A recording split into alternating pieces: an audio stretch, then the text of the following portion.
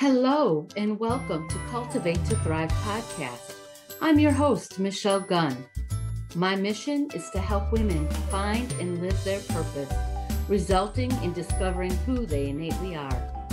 Throughout this podcast journey, I will help you to uncover your talents and your strengths to lead you on the path of realizing value in self, to grow in love of self, to lead to a fulfilling purpose and to build stronger relationships.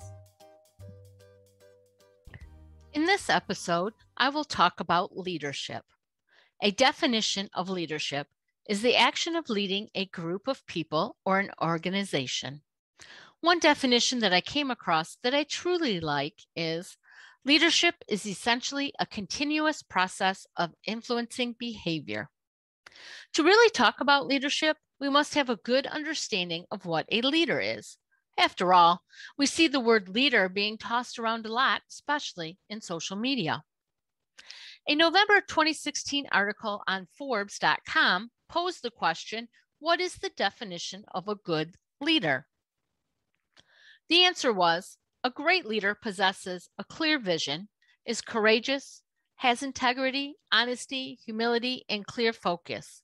Great leaders help people reach their goals, are not afraid to hire people that might be better than themselves, and take pride in the accomplishments of those they help along the way. I can work with this. Can you see a difference between a manager or supervisor and a leader? Let's talk about it. The definition of a manager is a person responsible for controlling or administering all or part of a company or similar organization. The word that stands out to me in this definition is controlling.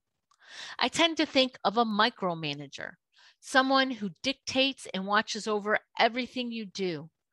They are often afraid to allow you to be successful and will seldom give credit where credit is due.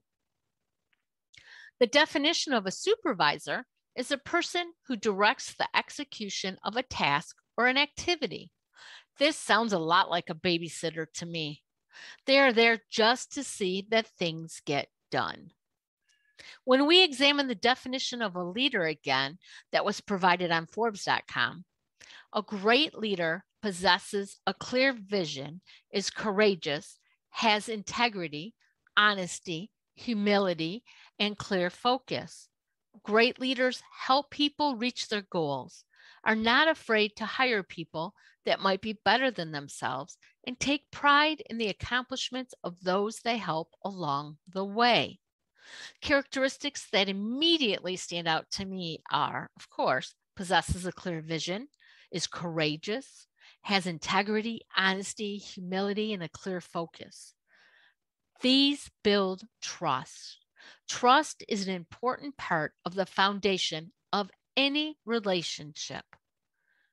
Remember that, they also said in this article, great leaders help people reach their goals, are not afraid to hire people that might be better than themselves, and take pride in the accomplishments of those they help along the way. Whoa, what? There are people who want you to succeed. They're not afraid if you do better than they do. Why, yes, there are. Great leaders are not afraid and don't hesitate to do what they ask of you. Great leaders know that their success lies in your success. Not only are they continuously working on self development, but they will also encourage people they are leading to continuously develop themselves. They will have an interest in both teamwork and team development. I've worked for many different people. Some were managers, some were supervisors, but few were true leaders. Many times, it's easy to tell by the turnover of employees or the lack of the ability to fill positions and keep them filled that there is no leader to be found, only managers or supervisors, regardless of the titles they hold. Think of the difference a leader can make, growing and developing people to be their best. When employees or volunteers, because this does apply there as well. are being served with encouragement, honesty, integrity, clear communication, and a sense of being valued, they give more. And it's not just clear communication. I want to emphasize that continuous communication, keeping people in the know is important. Just think about it. Think about people you've worked for. Have you felt valued? Have you felt like you were part of a team? This makes a huge difference in feeling fulfilled and no matter what you do. While in college, I worked for a fast food company. The store manager always created opportunities for the employees to develop their skills and receive rewards. He treated people with respect and was always available to talk about what the future could hold. He was promoted.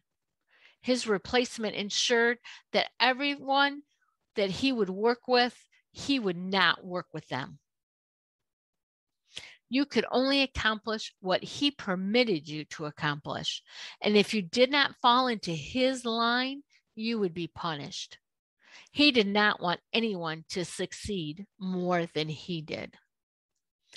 Under the first store manager, I felt valued.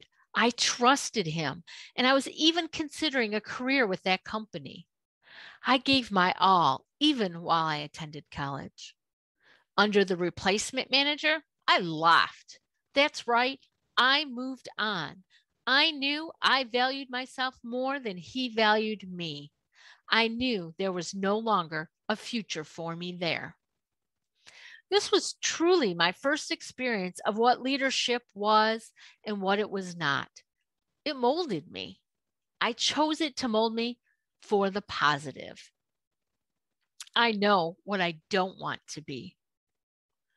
Now, know that not everyone is made to be a leader in the sense that you will lead a group of people or an organization, and that's okay. No matter what side of leadership you fall on, it is important to treat people with dignity and respect. I challenge you to consider where you have experienced true leaders in your life. Contemplate what leadership qualities you have and what qualities you would like to develop. As always, if you would like any help in personal or professional leadership development, please reach out today. Thank you for joining me for today's episode of Cultivate to Thrive podcast. Please remember to subscribe so you don't miss a single episode and share with someone who needs to hear today's message. This podcast is brought to you by Cultivate and Thrive, coaching by Michelle. Have a blessed and purposeful week.